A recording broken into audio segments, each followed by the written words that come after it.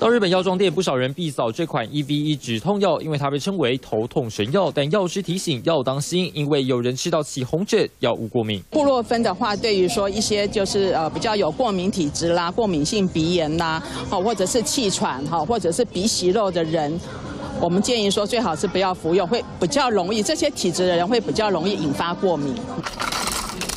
EV 止痛药的主成分布洛芬，过敏患者广，从国小学生到成人都有过敏反应，从眼肿全身荨麻疹到水泡都可能出现，而且导致过敏比率高过普拿疼。加上近三年药害救济申请数量明显增加，药害排行榜也从第九名上升到第七名。但因台湾无代理商，也没药证，民众自行国外买出问题，也无法申请救济。本身有在用，头痛的时候才才有在吃，看个人体质吧，自己不会买。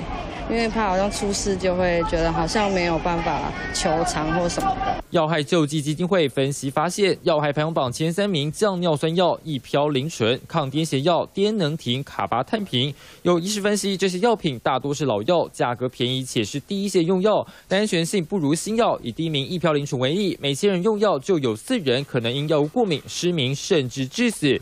药师提醒，用药前问清楚，评估体质再吃药。三新闻综合报道。